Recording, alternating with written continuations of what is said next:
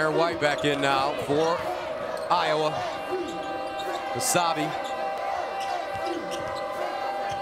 Clemmons takes a three. In and out. Rebounded. Basabe, and he'll jam it down. Nicely done, though, by Olaseni to keep it alive. 10 rebounds for Basabe, four offensive.